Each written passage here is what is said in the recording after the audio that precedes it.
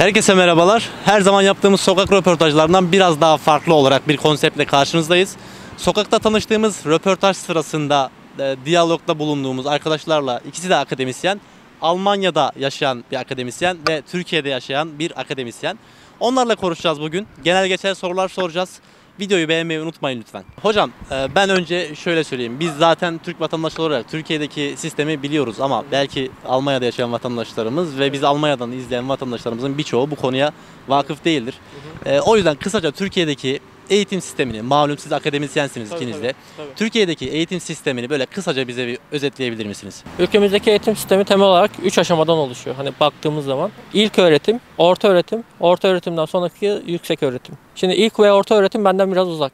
Çünkü çok uzun zaman oldu bu eğitim süreçlerini arkamda bıraktık, bıraktım. Ama yüksek öğretimin bizzat içindeyim. Lisansımı tamamladım. Yüksek lisansımı yaptım. Şu an doktoramı yapıyordum. Türkiye'deki üniversite sistemini özetlemem biraz daha iyi olur. İlk öğretim sisteminden, orta öğretim sisteminden daha çok öğretmenlerimiz mesul. Şimdi ben onların alanına girersem yanlış gözlemlerde, yanlış tespitlerde veya güncel olmayan yaklaşımlarda bulunabilirim. Üniversitelerimize bakacak olduğumuz zaman üniversitelerimize Türkiye'de sınavla giriliyor. Öğrencilerimiz her sene demesek bile iki senede bir değişen bir sınav sistemiyle bazen bunun ismi YKS oluyor, bazen TYT oluyor. Bazen kademelendirildiğini görüyoruz. Değişiyor sürekli. Tabii sürekli değişiyor. Bazen tek aşamada yapıldığını görüyoruz. Yani bir sürekli güncellenen, sürekli yenilenen bir sınav sistemiyle öğrencilerimiz üniversiteye girmeye çalışıyorlar. Şimdi buradaki mantık şu. Öğrencilerimize her alandan soru soruluyor. Üniversiteye girmek isteyen öğrencilere. Tarih soruluyor, edebiyat soruluyor, felsefe soruluyor, matematik soruluyor, biyoloji soruluyor, din kültürü, felsefe. Yani şimdi öğrencilerin her şeyi aynı anda sorumluluk altında tutulmaları bir kere çok ağır büyük. Bana kalırsa yani sistemi ben dizayn etmiş olsaydım, Türkiye'de yüksek öğretime öğrenci seçecek bir kurumun başında olsaydım şöyle yapardım. Öğrencileri ilgi alanlarına göre gruplandırırdım. Mesela sadece mühendis olmak isteyenler, doktor olmak isteyenler, e, arkeolog olmak isteyenler, öğretmen olmak isteyenler. Çünkü öğretmen olmak isteyen çocukta belli başlı yetilerin olması lazım. İlk başta iletişim kabiliyetlerinin gelişmesi lazım. Sağduyulu olması lazım. Veya işte doktor olması gereken öğrencide sadece matematik, fizik, kimya bunları bilmesi yeterli değil. Doktorluk aslında aynı zamanda bir sanattır. Yani yurt dışında hep şey diye geçer. Tıp sanatı diye geçer. Tıp e, hem bir bilimdir hem de bir sanattır. Yani sizin karşınızdaki insanla kurmuş olduğunuz iletişimden tutun da hastaya karşı göz temasınız bile o hastanın sağlığını etkileyebilir. O hastanın geleceğini etkileyebilir. O yüzden öğrenciler de sadece matematik, fizik, kimya, biyoloji bunun gibi şeylere bakılmaması lazım. Bir kere bizim öğrencileri gruplayıp seçme sistemimiz yok. Hepsini ortak bir havuzda topluyoruz. Yılda yaklaşık 1,5 milyon öğrenci giriyor bu sınavlara. 1,5 milyon öğrenciyi ortak bir havuzda topluyoruz. Herkes bu havuzdan çıkabilen çıksın, çıkamayan üniversite okuyamasın diyoruz. Bir kere bu çok yanlış bir sistem. İnsanların akıbeti ne oluyor? Çıkanlar çoğunlukla kendi istemedikleri bölümlere yerleşiyorlar. Ben bunu örneğini çok sık yaşadım. Puanı nereye yetiyorsa. Mesela atıyorum Kars'taki öğrenci veya işte Tekirdağ'daki öğrenci aile baskısından, çevre baskısından, çevre baskısı da dediğim şu. Hala üniversiteyi kazanamadın mı? İşte ne olacaksın? Bak e- elin para tutmuyor. Para, ya seni evlendireceğiz. Askere mi gideceksin? Türkiye'de bu çok yoğun bir şekilde hissedilir gençlerde. Bu gençlerimiz sadece bu baskıdan kurtulmak için belli bir e, üniversite puanı alıp adeta loto oynar gibi tercih yapıp hangi üniversiteye, nereye yerleşebiliyorsa kendini oraya göndermeye çalışıyor. Bizde şöyle bir şey var hocam artık tabiri caizse sırtını devlete dayamak diye bir tabir var. Evet. Artık ne kadar doğru bir tabir bilmiyorum. tabii. Ee, bir de böyle bir düşünce var sanırım. Evet tabii o çok ayrı bir şey. Üniversitede tercihleri o da etkiliyor. Ama o da genelde aile baskısının da orada çok egemen olduğunu görüyoruz. Sırtını devlete dayama politikasında. Aslında öğrencilerin ve üniversite mezunlarının kendini en çok geliştirebilecekleri yer özel sektör. Ben gerçekten buna inanıyorum. Yani özel sektör daima sizi her zaman yenilemeye, yükseltmeye ve bir tık ileriye taşımaya elverişlidir. Hani ben demiyorum devlet sektöründe kalan geride kalır. Ama devlette şöyle söyleyeyim her ülkede devlete girdiğiniz anda gelişime kapanıyorsunuz. Yani belli bir rahatlık elde ettikten sonra hiçbir zaman kendinizi geliştirmeye çalışmıyorsunuz. Özel sektör size o rahatlığı vermez. Hocam bir de Almanya'dan alalım mı? Almanya'da nasıldır hocam bu eğitim sistemi?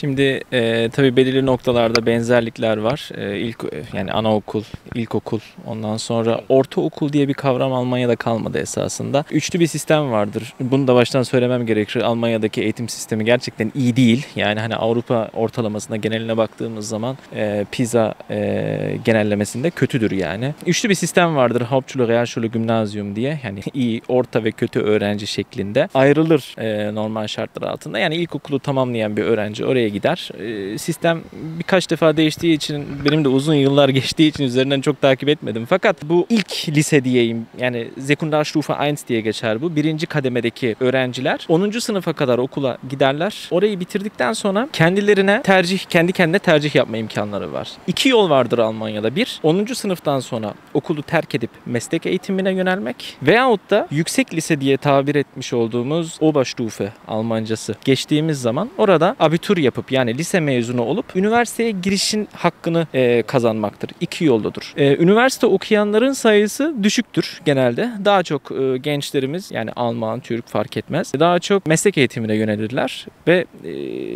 yani ara eleman diyoruz herhalde Türkiye'de kalifiye eleman üzerine e, yürürler. Örneğin torna tesviye öğrenecek. 10. sınıftan sonra bir şirketle e, mülakata girer. Herhangi büyük bir şirkette olabilir, küçük bir şirkette yani bir KOBİ de olabilir fark etmez. Oraya da 3 yıllık bir meslek eğitimini alır. 3 yıllık meslek eğitimi esnasında bir veya haftada 2 gün okula gidip onun teorik bilgisini, iş yerinde de pratik bilgisini alıp 3 sene sonra meslek sahibi olur. Meslek sahibi olduktan sonra önü kapanmaz. Yani meslek sahibi olduktan sonra tekrar küçük bir sınavla veyahut da artık eyalet bazında değişiklik e, oluyor. Tekrar üniversiteye gidip onun mühendisliğini de okuyabilir öğre- öğrenci. Yani önü hiçbir zaman kapanmıyor. İkinci yol olarak tabir ediyoruz biz. İsterse kendini geliştirmez. Orada meslek eğitimini tamamladığı şekilde iş hayatına atılır. İşte hani ustalık vesaire yapabilir veyahut da onun üzerine bir mühendislikle tamamlayıp çift yollu gitmiş olabilir. Hem meslek eğitimi hem de onun mühendisliğiyle tamamlayabilir. Siz, üniversite okuyan sayısı azdır dediniz. Evet, doğru. Ben bunu dikkatimi çekti. Neden azdır üniversite okuyan sayısı? Neden azdır onu ben açıkçası bilmiyorum. Yani nedenini bilmiyorum ama hani meslek eğitimine daha çok yöneliliyor. Belki de hani e, meslek eğitimi yapan gençlerin önünün açık olması, bir gelecek vaat ediyor olması ve bunun da birçok örneğinin olmasıyla alakalıdır. Yani çünkü şöyle düşünün 16 yaşındaki bir genç 10. sınıfı bitirdiği gün itibariyle eğer bir meslek eğitimi anlaşması sözleşmesi yaparsa bir şirketle otomatikman para kazanmaya başlıyor. Yani hem eğitim görüyor hem de e, bir para kazanıyor. E, dolaylı yolda 19 yaşında meslek sahibi oluyor ve 19-20 yaşında ciddi rakamlarla para kazanıp hani hayata atılmış oluyor. Bunun paralelinde yani üniversiteye gidecek olan öğrenci 3 yıl yüksek liseye gitmek zorunda. Bu gittiği zaman tabii ki para kazanmayacak. Abitur dediğimiz lise bitirme sınavlarına girecek. Bunu tamamladıktan sonra üniversite eğitimine gideceğiz. Hala bir para kazanma mevzusu değil. Daha çok para harcama dönemi başlıyor üniversite dönemi. Ondan dolayı da olabilir. Ee, bir de hani herkes akademisyen olacak diye bir şey yok. Herkes üniversite okuyacak diye bir şey yok. Yani her devletin, her ülkenin, e, her kesimden ve her alanda kalifiye elemana, kalifiyeli, bilinçli ve profesyonel çalışan insanlara ihtiyaç var. O yüzden Almanya'da e, benim gözlemlediğim kadarıyla meslek eğitimine çok ciddi e, önem veriliyor. Akademik e, hayata atılan öğrenciler de gerçekten bunu istediği için hani arkadaşıma paralel bir şekilde gerçekten okumak istediği için, üniversite bitirmek istediği için ve hani yüksek pozisyonda iş yapmak istediği için üniversiteye yani yönetici vesaire ve araştırmacı, akademisyen e, olmak istediği için üniversiteye gider. Bence eğitim konusu az çok ortaya çıktı hocam da e, Almanya dediğimiz zaman genelde ekonomi akla gelir. Öyle değil mi hocam? Benim öyledir yani şahsen. Birçok biz röportajlarda karşılaşıyoruz yani genelde Almanya mı Türkiye mi sürekli bunun karşılaştırması var. Gelen gurbetçilere de konuşuyoruz. Ben ekonomiyi sormak istiyorum. Önce size sorayım isterseniz. E, Bir şey daha Almanya'da eklemek istiyordum bu Tabii. e, şey eğitimle ilgili. Çünkü orada ciddi bir e, bir fark ortaya çıkıyor benim anladığım kadarıyla. O şöyle bir şey. e, Şimdi dediğiniz bir mevzu vardı az önce. Hani öğrenci işte her alanda sınava tabi tutuluyor ve o e, al- her alanda almış olduğu puana göre istemediği, tercih etmediği bir üniversiteye gitmek zorunda kalmak zorunda kalıyor. Almanya'da böyle bir şey yok. Almanya'da e, abitur dediğimiz yani lise diploması dediğimiz mevzuda e, öğrencilerin profesyonelleşme veyahut da ilgi alanlarına odaklı kalıplar vardır. Atıyorum fende e, yani fen ağırlıklıdır, tarih ağırlıklıdır, coğrafya ağırlıklıdır, biyoloji ağırlıklıdır veyahut da spor biyoloji ağırlıklıdır. Bir kalıp vardır. Bu kalıplar üzerinde yürür. Eyaletler arasında değişiklik görür. Çünkü Almanya'da eyalet sistemi vardır. Yani federal sistemdir ve 16 eyaletinde eğitim sistemi kısmen farklılıklar gösterir. Neyse e, asıl mesele bu abitur abiturda almış olduğu fark etmeksizin yani hangi bölümde hangi uzmanlık bölümünde almış olduğu not ortalamasına göre üniversiteye başvuru yapar. İstediği her üniversiteye istediği kadar ve istediği bölüme müracaat edebilir. Kayıt ve kabul şekli de not ortalamasına göre değişir. Bu da arz talep meselesidir. Yani bir bölüme ne kadar çok talep varsa ve o bölümde bitirme oranı ne kadar çoksa örneğin ve kapasite ne kadar düşükse o kadar not ortalaması yüksek isterler. Yani en iyi not 1'dir. Örneğin bir Heidelberg'da tıp fakültesine girmek isteyen bir öğrenci 1,0 yani e, kusursuz bir abitur notu olmak zorunda. E, hukuk okumak isteyen çok ilginçtir. Almanya'da hiçbir üniversitede hukukta şey yoktur. Giriş kayıtsız şartsız alınır. Çünkü bitirme oranı çok düşük. Yani buna da değinmek Kolay bir gerekirse yani o. çok zor bir alan o manada. Bitirme oranı çok düşüktür. Ha, pardon. Örneğin mesela e, ben kendi bölümüm için konuşabilirim. E, biz mesela başladığımızda yanlış hatırlamıyorsam yaklaşık 650 kişiydik. Yani bölüme başlamış olduğumuzda mezuniyette 30-40 kişi falan vardı. Yani üniversitede bitirme oranı çok düşüktür. Almanya'da üniversiteye girmesi çok kolaydır. İstediğiniz her bölüme girebilirsiniz.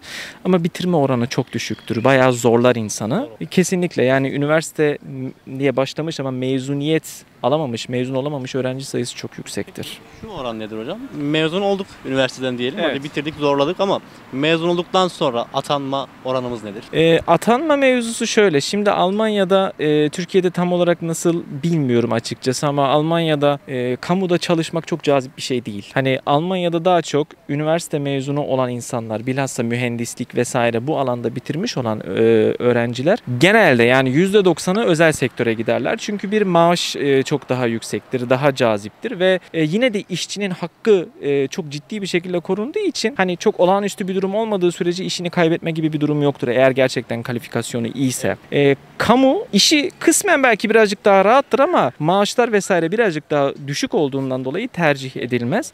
Hatta şunu söyleyebilirim yanlış hatırlamıyorsam şu an yani Almanya'da tabi demografik dengelerin değişmesiyle birlikte de e, acilen 2 veya 2,5 milyona yakın e, kamuda e, personel açığı var. Dolduramıyorlar. Hani biz kamu sektörünü veya kamuyu e, kamudaki işi e, nasıl atraktif hale getirebiliriz ki hani mezunlar veyahut da başvuranlar bize bizi tercih etsin diye bir e, mevzu da var Almanya'da şu an. Yani çalıştıracak eleman bulamıyorlar yani. Tabii ya zorlanıyorlar. Zorlanıyorlar. Hocam bir şey söyleyecektiniz. Şimdi az önce üniversitelerdeki mezuniyet oranları ile ilgili bilgi verdi arkadaşımız. Ben de Türkiye ile bunu kıyaslayacağım. Türkiye'de üniversiteye girmek zor. Yani açıkçası hem psikolojik olarak zor hem de disiplin açısından zor. Yani kendinizi motive etmeniz lazım. Yıldaki şansınız bir kere belli aşamalardan geçerek o üniversiteyi kazanmanız gerekiyor. Kazanamazsanız umudunuz, idealleriniz, hayalleriniz bir sonraki seneye kalıyor. Bu kadar stresli ve bu kadar da bunu öğrenci arkadaşlarımız daha iyi bilir. Biz de yaşadık bu stresi zamanında. Yani üniversiteyi kazanırsanız bu sizin için çok büyük bir bayramdır, çok büyük bir mutluluktur. Herkes sizi tebrik eder. Ama anladığımız kadarıyla Almanya'da öyle değil. Yani üniversiteye isteyen, hayali olan arkadaşları alıyorlar. Genelde kabul ede- ediyorlar. Ama çok zor mezun ediyorlar. Yani mezuniyet oranı neredeyse %5, %6 benim anladığım kadarıyla. Belki de %10'a kadar çekebiliriz. Gelelim Türkiye'ye. Şimdi biz üniversiteye gireriz. Çok zorlanırız, çalışırız, hırpalar, hırpalarız kendimizi. Üniversiteye girdiğimiz anda birinci sınıfta çok rahat bir ortam buluruz karşımızda. Yani Türkiye'deki üniversitelerimizde nedense ben bunun sebebini çok sorguladım zamanda. Kendim de üniversite öğrencisiyken. Mezun olmaya odaklı bir eğitim sistemi var. Yani mezun etmemeye odaklı değil. Yani öğrenci 4 yıl boyunca Orada belli bir standardı yakaladığı zaman ya bu standartta şöyle açıklayayım. Derse doğru dürüst gelip gitmek, öğretmen akademisyenlerle aranı belli bir seviyede tutmak, projeleri genel geçer bir şekilde ya- ya- yapmak. Bir de mezun olunuyor diyorsun. Yani bir şekilde Türkiye'deki üniversitelerde mezun olunuyor. Yani hatta öğrenciyi mezun olması için teşvik ediyorlar. Teşvik etmekten kastım nedir? Yaz okulu açıyorlar. Öğrenci sınıfta kalmış. Yaz okulu. Yaz okulundan ziyade büt sınavı açıyorlar. Bütünleme sınavı dediğimiz. Yaz okulundan geçemeyen bütünleme sınavından geçiyor. Bütünleme sınavından geçemeyen mazeret sınavından geçiyor. Yani sürekli öğrenciye mezun olması için bir şans tanınıyor. Türkiye'deki üniversitelerde. Şimdi biz burada şunu sorgulamak zorundayız. Hani tırnak içinde şunu soruyorum. Biz öğrenciyi mezun olmaya zorlayarak doğru mu yapıyoruz? Bence doğru yapmıyoruz. Bence de doğru yapmıyoruz. Ki Alman Almanlar, Alman hükümeti bunun farkına varmış. Liyakat odaklı çalışıyorlar. Daha çok liyakata değer veriyorlar. Hak etmeyen mezun olmasın diyorlar. Ben onu anladım. Onunla ilgili şöyle bir e, şey yapabilirim, bir örnek verebilirim. Akademik hayatta misal e, örneğin bir bölüm okuyorsunuz mesela işte işletme iş veya ekonomi oku, is- iktisat okuyorsunuz. Makroekonomi dersine gireceksiniz misal. Eğer makroekonomi dersinde 3 defa sınavda kalırsanız üniversitede bölümden atılıyorsunuz. Bölümden atıldığınız gibi Almanya sınırları içerisinde o bölüm ve o bölümle ilgili eş ve benzer bölümleri okuma hakkını tamamen kaybediyorsunuz. Tabii ki yani ve o güne kadar okumuş olduğunuz bütün her şey bitmiş oluyor. Ee, bu şekilde bir zorlama vardır yani hani zorlu zorunluluğundan bahsederken. Girişte de şöyle bir kolaylık var ondan bahsedeyim. Abituru yani o lise bitirme diplomasını bir sınava tabi değil.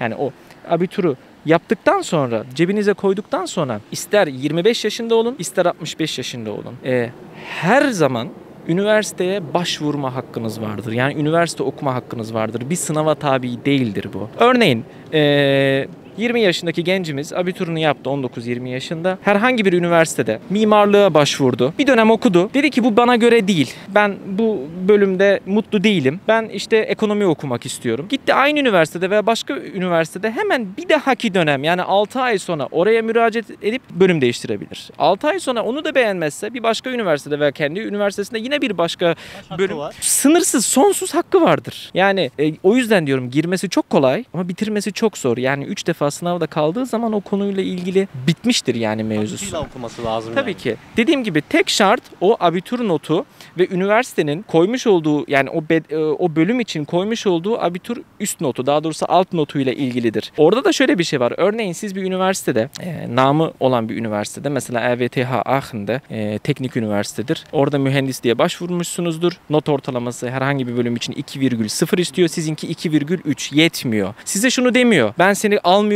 demiyor. Şunu diyor. Öğrencim diyor. Sen diyor bana başvuru yaptın diyor. Senden ama diyor 2,0'ı olan daha iyi öğrenciler var diyor. Ben kontenjanımı onunla dolduruyorum diyor. Ama diyor eğer e, kontenjan dolmazsa seni alacağım diyor. Dolarsa diyor sana 2 sömestr, 2 dönem bekleme süresi veriyorum. 2 dönem sonra alacağım ben seni. Yani seni sıraya koyuyor. Almayacağım demiyor. 2 dönem beklerseniz yine o bölüme o üniversitede girme şansına hakkına sahipsiniz. Sizin söyledikleriniz bittiği sürem bu Tabii, tabii. eğitimle alakalı ve ekonomiyi konuşalım. Ekonomi Almanya deyince zaten ekonomi geliyor akla. Bütün vatandaşlar gibi. Az önce de bahsettim. Biz her sokak röportajına çıktığımızda aşağı yukarı kesinlikle bir tane bir Avrupalı gurbetçiyle tanışıyoruz, görüşüyoruz, konuşuyoruz. E, söylemler çok farklı. Bizi kıskanıyorlar. İşte onların ekonomisi bitik gibi birçok söylemle karşılaştık. Bunun gerçekten aslı astarı nedir? Bu iş nasıldır yani Avrupa'da? evet, e, kıskanma mevzusu çok e, garipsiyorum. Yani Avrupa'dan gelen yani buradaki bir vatandaş bunu düşünüyor olabilir. Bu çok doğal bir şey. Yani e, yurt dışına çıkmamış, görmemiş bir insan kendi yaşadığı bölgeyi görür sadece. Ama Avrupa'da yaşayıp da e, kıyas yapabilecek pozisyonda olan bir insanın bunu söylemesi yani ekonomik anlamdan bahsediyorum. Çok anlam veremiyorum esasında. Çünkü Almanya'daki e, yaşam standartının yüksekliğinin farkında olması gerekir buraya geldiği zaman. Kendi aile akrabalarında hani bunu kıyaslayabilmesi gerekir. E, bunu yapamıyorsa neden o ülkede durduğunu sorarız biz insana. E, ben çok tartışıyorum Almanya'da. Yani biz Türkiye'yi çok seviyoruz. Vatanımızı, milletimizi e, çok seviyoruz. Bunda bir sıkıntı yok ama yaşam standartı açısından done. Yaşam kalitesi açısından eğer o insan e, burayı tercih ediyorsa buraya gelip burada yaşam yaşayabilir. Çünkü hiçbir engeli yok. Yani eğer bir mesleği varsa o mesleği burada da icra edebilir. Örneğin fayansçı ise burada da fayans döşeyebilir. E, örneğin e, fırıncı ise burada da fırıncılık yapabilir. Buranın dilini konuşuyor, buranın kültürünü biliyor, buranın insanını tanıyor. Kalkıp buraya gelebilir. Konuyu sizde de Doğru. şeydi mesele e, diyorlar yani bunu gerçekten diyorlar. Düzenimiz var diye gelemiyoruz. Orada bir düzenimiz var. Çocuklarımız var diye bir şey sürüyor, sürüyorlar öne. Evet doğru bir düzeni olabilir ama insan mutlu olduğu yerde yaşamalı. Ben bunu açık net söylüyorum. Ben bir yerde mutlu değilsem orada yaşamak zorunda değilim. Düzen meselesi doğru fakat ben bir yerde mutlu değilsem demek ki düzenimi değiştirmeye hazır olmam gerekiyor veya hazırımdır demek. Çünkü ben orada mutlu değilim. Düzenini değiştirip de atıyorum dilini, kültürünü, e, dinini bilmediğin bir ülkeye gitmek zordur. Fakat dilini, kültürünü, dinini bildiğin, belki gayrimenkulünün olduğu, başka bir yoldan gelirinin, akrabanın olduğu, e, bulunduğu ülkeye gitmesi çok zor olmasa gerek. Yani bunu sormak lazım vatandaşa. Neden orada kalmayı tercih ediyor? Peki hocam kısaca sizden de alalım. Türkiye'deki ekonomiyi siz nasıl değerlendiriyorsunuz? Bir akademisyen olarak aldığınız maaş yetiyor mu size? Şimdi ben öncelikle şöyle öğrenci ekonomisinden gireyim. Şimdi akademisyen ekonomisi çok farklı. Şimdi öğrenci ekonomisi dediğimiz nedir? Bir öğrenci üniversiteye gelir. Üniversitede belli başlı giderlerle karşılaşır. Bunlar ailevi hayatında sorumlu olmadığı giderlerdir. Nedir? Ev kirasıdır. Faturaları üstlenmek zorunda kalır. Mutfak masraflarıdır. Onun dışında ekstra harcamalarıdır. En son ne gelir biliyor musunuz üniversitede? Eğitim masrafları. Yani mesela bir lisans öğrencisi ayda kaç kitap almalıdır? Ben bunu soruyorum. Size cevap da vereyim şöyle. Bir lisans öğrencisi ortalama 10 tane kitap almalıdır ayda. Ya bunlardan bazıları akademik kitapları olur. Tıp okuyorsa işte tıp kitabı olur. Hukuk okuyorsa hukuk sözlüğü olur. Artı gündeme dair e, kitaplar. Bunlar siyasi de olabilir, politik de olabilir. Artı bunların da artısında roman ve hikaye tarzı kitaplar. Bir üniversite öğrencisi şu an kaç tane roman okuyarak mezun oluyor mesela? Bu çok komik bir soru. Üniversitede inanın öğrencilere sorun teker teker 100 tane öğrenciden 5 tanesi veya 10 tanesi toplam 4 yıllık lisans hayatı boyunca 20 tane kitap okuyordur. Roman ama. Sadece roman bahsediyorum. Hani bu dil bilimci ise dil filolojik kitaplar değil veya tarihçi ise tarih kitapları değil. Sadece de romandan bahsediyorum. Okuma oranı üniversitede bu kadar düşükken öğrencinin tamamen suçu nedir? Öğren bu suç öğrencide midir? Bizim bunu da sorgulamamız gerekiyor. Ülkemizde bir kitap almak için öğrenci ne kadar para ayırması lazım? Aylık 300 veya 500 lira para ayırması lazım. Sadece kitapları için. Öğrenci bu 300-500 lirayı bulabiliyor mu? Sormak lazım. Evet öğrencilere sormak lazım ki öğrenci karnını doyurabiliyor mu? Hani bilmediğimden soruyorum. Burada hani e, öğrenciye kredi, destek vesaire hani okuyan insanlara böyle bir imkan tanınmıyor mu? Tanınıyor. Yani belli başlı destekler var. Bunlardan bazıları burslar mesela. Karşılık Cumhurba- Başbakanlık tarafından veriliyordu. Şimdi Cumhurbaşkanlığına geçti başbakanlık sistemi kalktığı için. Cumhurbaşkanlığı tarafından aylık bildiğim kadarıyla 600 lira bir destek var öğrenciye. Bursa Öğrenciye var mı hocam? Bütün öğrencilere var mı? Burslar hayır bütün öğrencilere yok kesinlikle. Burslar sadece başvuruyorsunuz bursa, ailevi durumunuzu inceliyorlar. Ailevi durumunuzdan kastım annenizin üzerindeki evden tutun da babanızın üzerindeki arabaya kadar. O kaç kardeşsiniz? Bunların kaçı okuyor? Kaç maaş giriyor eve? Giren maaşlar ne kadar? Bunlara kadar hesaplıyorlar. Size karşılıksız bir burs verip vermeyeceklerine karar veriyorlar. Bu bir açı. Karşılıklı olan burs Bir de var. karşılıklı olan biz ona burs demiyoruz. Öğrenciler burs diyor. O kredi aslında. Yani bu öğrenci kredisi. Onu burs diyorlar. Ha? Aslında onun doğru tanımı KYK kredisidir. Öğrenci 4 yıl boyunca ki bazı bölümler 5 yıl 6 yıl tıp fakültesi. 6 yıl boyunca alan 5 yıl boyunca eczacılık fakülteleri var. 5 yıl boyunca alıyorlar. Diyelim 5 yıl boyunca öğrenci aldı bu krediyi. Mezun olduğu zaman bu çocuk bir anda 20 bin TL borçla mezun oluyor. Veya 30 bin TL. Düşünün. 30 bin TL bir borçla bir anda mezunsunuz. Hadi diyelim tamam Devlet bize kredi verdi. Düşükte bir faiz de veriyor. Biz buna karşı müteşekkir olalım. Teşekkür edelim. Peki biz bunu ödeme kısmına geldiğimizde ne yapacağız? Hemen iş bulabilecek miyiz? Veya ailevi durumumuz nasıl olacak? Bunu devlet sorguluyor mu? Hayır sorgulamıyor. Size sadece 2 yıl süre veriyor. 2 yıl boyunca sadece sizin iş bulmanızı istiyor. Eğer 2 yıl boyunca iş bulamadıysanız ne oluyor? Onu da anlatayım. Belli bir faiz sistemi devreye giriyor. Faize de biniyor bu. Tabii biniyor biniyor. Ama düşük bir faiz. Yani devletimiz böyle bir avantaj sağlamış. Düşük bir faizde yani normal bankadan aldığınız kredinin neredeyse yarı yarıya bir faiz oranıyla sizden tahsil etmek istiyor bunu devlet. Ödeyemezseniz faiz faiz faiz faiz 20 bin lira borç bir bakmışsınız 2 yıl içinde 30 bin lira 40 bin lira olmuş. Bu ne kadar adil? Yani belki o çocuk mezun olduktan sonra lisans okuduktan sonra kendini geliştirmek için yurt dışına gidip gelecek. Herhangi bir yerde staj yapmak isteyecek. Veya bir dünyayı gezeyim dolaşayım kültürümü genişleteyim diyecek. Ya böyle şeyler olamaz mı? Mezun olan her öğrenci iş bulmak zorunda mı hemen? Kendini geliştirmek için gidip bir fabrikada, gidip herhangi bir dünyadaki herhangi bir kurum ve kuruluşta kendini ispatlama çalışmasına giremez mi? Ama bu süreç bunun, bu çocuğun ödeme planına dahil ediliyor. Verirse de herhalde bunlar zor olur hani başka bir ülkeye gitmek falan çünkü bunlar e, ülkemizde maalesef bayağı bir meşakkatli şeyler yani Tabii. kurdan dolayı diyelim. Tabii. Çok fazla bu konular biraz siyaset üstü Aynen. konulara girmek bunlar istemiyorum. da. bildiğimiz konular da değil açıkçası. Ama şöyle söyleyeyim. 600 TL lisans öğrencilerine verilen destek aylık. Yani biz bunu Almanya ile kıyaslayalım hadi. 80 euro mu? 90 euro. Almanya'da bu arada de, öğrenciye destek. Şimdi Almanya'da şöyle bir durum var. Alman vatandaşıysanız eğer veyahut da orada doğup büyüdüyseniz ona tam emin değilim ama Alman vatandaşıysanız eğer her üniversite okuyan öğrenciye burs hakkı vardır. Ee, bunun yalnız Türkiye ile benzer bir tarafı ailenin gelire gelirine bakılır. Yani şöyle bir durum vardır. Bunun maksimum en üst seviyesi bilmiyorum şu an. Benim zamanımda 650 euro civarındaydı. Aylık şu an yaklaşık 750 euro falan olması gerekiyor. 800 euroya yakın olması gerekiyor. Aylık verilen bu burs. E, BAföG diye geçiyor bu. Bunun e, şartı şu yani kurum ailenin durumuna, işte gelir düzeyine, e, çocuk sayısına bakar ve bunun bir alt ve üst tabanını belirler. Bunun arasında size bir rakam belirler. Eğer normal e, normal bir vatandaşsanız yani çok ciddi bir geliri olmayan bir aileyseniz o 650, 700, 800 euroya alırsınız. Farzi misal böyle bir aileden bahsediyoruz. Her öğrencinin böyle bir hakkı vardır. Vatandaş olan her öğrencinin. Ee, Türkiye ile farkı şu oluyor yalnız. Ee, öğrenim gördüğü süre içinde atıyorum 5 yıl okuyor. Bu 5 yıl sürecinde bu 800 euroyu aylık her ay hesabına yatar. Tek şartı şu.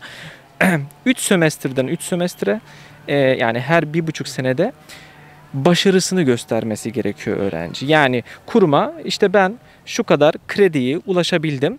Yani ciddi bir şekilde okuyorum. Bunu ispatlayabilmesi gerekiyor. Eğer bunu ispatlayamazsa anında keserler zaten. Hani tabii yani boşuna sana destek vermeyelim. Sen gerçekten okuyor musun? Bunu ispatlamak zorundasın.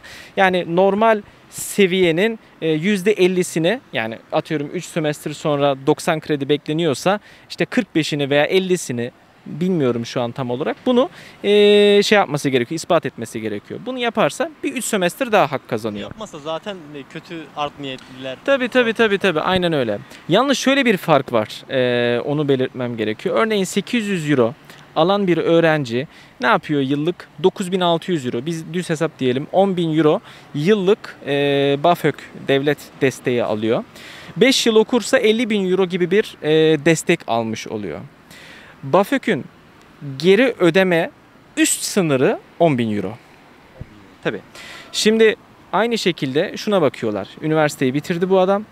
İşe başladı mı? Çalışmıyor ise yani 3 sene 5 sene zaten BAföG'ü geri ödeme hakkını yoktur yani. yani ödemek zorunda değildir. Ama işe girdiyse sigortalı bir işe aradan 6 ay e, bir sene geçtikten sonra eve bir mektup gelir. Denir, denilir ki size işte biz e, 50 bin euro BAföG vermişiz. Maksimum ödemeniz gereken değer 10 bin euro. Eğer bunu e, peşin öderseniz size %25'lik indirim yapıyoruz. Yani 7500 euro ödeyin borcunuzu kapatalım. Eğer taksitle ödemek istiyorsanız aylık 100 euro 100 euro faizsiz bir şekilde bunu ödeyebilirsiniz diyor. Böyle bir sistem var. Şimdi bahsettiği gibi hocamın da durum şu. Belli bir para veriliyor size ve belli bir para kesiliyor. Ama oranda bir indirime gidiliyor. Ve herhangi bir yıl sınırı da yok. Yani bir bekleme süreci var. Bizde durum tamamen şöyle. O iki yıl boyunca devlet ge- geri sayım sayıcı başlatıyor sizin için. Geri sayımı hissediyorsunuz öğrenci olarak. Yeni mezun olmuşsunuz. İşte az önce de belirtmiş olduğum gibi belki idealleriniz var. Belki bir Avrupa turu yapacaksınız. Belki bir dünya turu yapacaksınız. Ufkunuzu genişletmek istiyorsunuz. Ama sürekli bu geri sayımı hissediyorsunuz. Ve gözünüz sürekli oradaki meblağda oluyor. Ben bu parayı nasıl ödeyeceğim? Hemen sizi işe girmeye sevk ediyor. Yani adeta o krediyi ödemek için hayatınızı şekillendiriyorsunuz. Ve bu krediyi ödemeden kendinizi bağımsız hissedemiyorsunuz. Düşünsenize böyle bir öğrencinin böyle bir hayatla iş hayatına başlamış olması, dünyayı bu şekilde tanıması ne kadar üzücü bir şey. Evet. Yani psikolojisini geçtim. Öğrenciden tamamen artık para odaklı bir yaşam bekliyorsunuz. Ama devletin, e, daha doğrusu hükümetin öğrencilere bu rahatlığı vermesi gerekiyor. Yani mevzu para değil. Biz sizi destekledik. Biz size belli bir şekilde fon oluşturduk. Evet bu fonun karşılığını sizden bekliyoruz. Ama bu fon odaklı yaşamayın. Öncelikli olarak he- hedeflerinizi, ideallerinizi gerçekleştirin. Biz sizden bu şekil bu parayı bir şekilde tahsil ederiz. Ama %5'ini tahsil ederiz ama %10'unu tahsil ederiz. İstersen 10 sene sonra işe gir. Ama sen yeter ki kendini geliştirmiş bir birey olarak benim karşıma çık. Yani yaklaşım açısı An- Almanya'da bu şekilde. Benim gördüğüm, anladığım kadarıyla. Bizde öğrenciden parayı tahsil etme şeklinde. Yani ne olursa olsun biz o parayı geri almalıyız. Aslında bu geri alınmak odaklı bir para olmaması lazım. Bu sadece o teşvik amaçlı para olması lazım. Benim eklemek istediğim not bu şekilde.